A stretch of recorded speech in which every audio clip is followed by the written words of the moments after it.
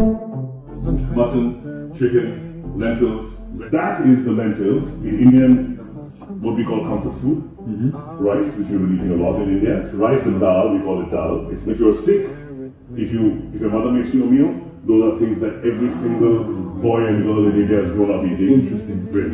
Give it a little. I know where you're starting from this. Because I gotta give you, I gotta give you the lamb and chicken right at the end, mate.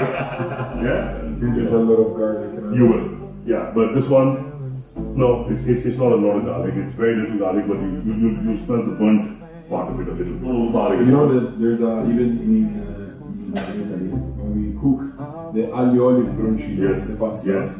Theoretically, you shouldn't burn the, the garlic, but there are some people. Who do. I'm, I'm one of, of them that I like slightly, you know, burnt because it gives this smell that I think is very good. Correct. This reminds me a little bit now, you gotta say one word in Italian that comes to your mind. That's the deal my guys did. To me, this is of Italy is countryside. Yeah? So, one Campagna. word. Campagna. Campagna. So it, it reminds you of, of the country. Yeah. Incredible. Right. And now, pop it in.